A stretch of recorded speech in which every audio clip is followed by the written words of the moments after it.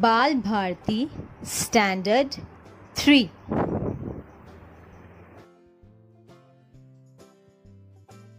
Welcome. Today we are doing Standard 3 Bal Balbharati, Chapter 31 Robotics. Let's read. A robot is a complex, man made machine that can perform many of the tasks that human beings do, and some tasks that are too difficult or dangerous for human beings. Robots are built in such a way that they can perform these tasks automatically when they are started or on command. Robots may be operated by remote control. A robot usually has three things. It has a built in computer program. This program is like the robot's brain. Only a brain cannot think on its own like human beings do. It cannot decide whether to do something, whether something is good or bad on its own. It can learn and do only what the computer program makes it possible for the robot to learn and do. A robot does not have moods and feelings like human beings do. Like other machines, a robot can do boring tasks again and again and again without getting bored. It can work in dangerous places where human beings cannot go or live.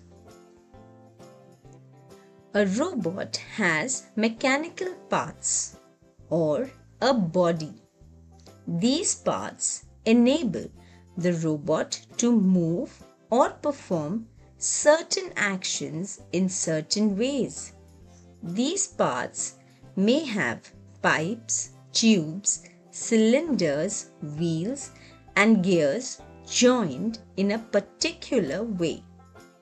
There may be devices that scoop up or hold things, blow, suck, sweep, etc. These parts are designed to suit the purpose for which the robot is built. A robot also has sensors or devices that inform it about its surroundings. These sensors are like the robot's eyes, ears, nose, skin, etc. Again, these devices are designed and fitted to the robot by experts who design and build the robot.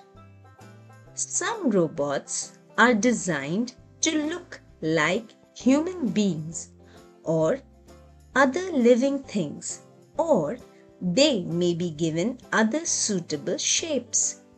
It requires a lot of hard work, skill, and imagination to design and build robots. Would you like to design or build a real robot when you grow up? For that, you will have to study the relevant subjects well and also develop a good imagination. Design your own robot. Use the following points and make a design for your own robot. Purpose What are you building the robot for? What work will it do when it is ready? Materials What materials will you use to build the robot? Metal, plastic, glass, etc size and shape. How big or small will the robot be? What shape would be most suitable? Parts. What parts will the robot need to move or to do its work? Is it necessary to have bending, curling, or stretching parts? Sensors. What sensors will the robot need? Where will you fit the sensors? Energy. Will your robot work on electricity? Do you need batteries, solar cells, etc.? Where will they be fitted? How to operate the robot? Do you need buttons or a remote control or both? Safeguards. What safeguards will the robot need to protect its parts? Now, draw a picture of the robot that you have designed. Label the picture. Describe in short what your robot can do. Choose a suitable name for your robot.